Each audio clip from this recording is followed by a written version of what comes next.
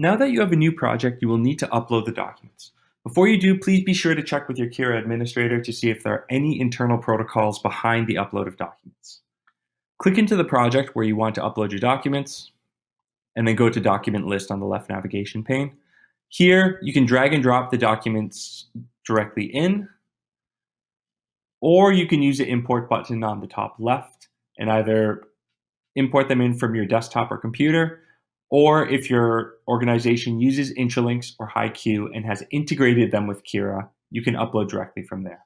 Once you have uploaded your documents, you may need some time for them to process. This is because Kira is using optical character recognition, or OCR, in order to make the document machine readable and searchable regardless of its original format.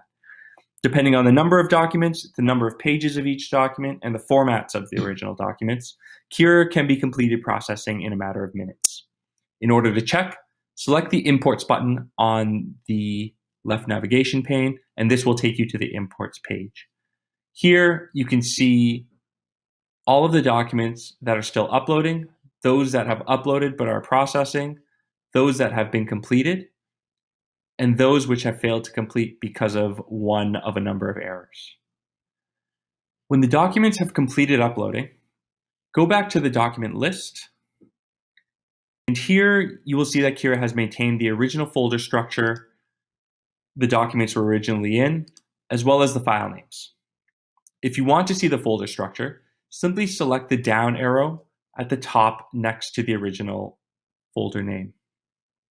This will open up the folder tree, and here you can navigate through each of the folders accordingly.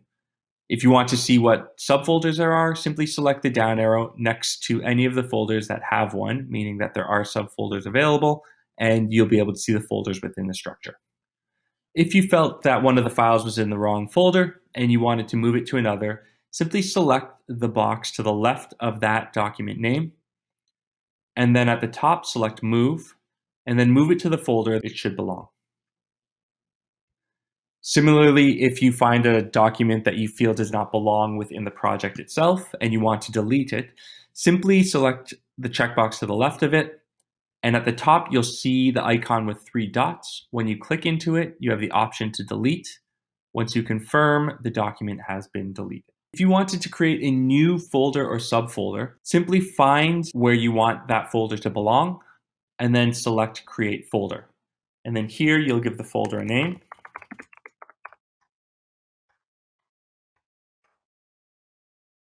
And then the folder will exist within your new structure. As you navigate through the uploaded documents within your document list, you may notice that there are some automatic tags that appear. The first is going to be for OCR quality. Kira will grade any document that has poorer than perfect OCR quality, and it'll grade it from B or C or D and onwards a document has lesser than an A OCR quality, you may see some typos in the results, or you may see some uncharacteristic misses. As a result, anything with an OCR quality tag, you may want to double check manually. In addition, Kira will also automatically tag any document that's in a language other than English, and they'll tell you which language that it is. Finally, Kira will also automatically classify each document as a contract, or non-contract and what type of contract or non-contract that it is. So in this case, it has identified this document as a contract and as an intellectual property agreement. A summary of these automatic tags can be found in the tags page that you see on the left navigation bar. This should be everything you need to know as a basic introduction in order to upload documents into Kira. The next video will go over how to use the worksheets page and the Smart Field library.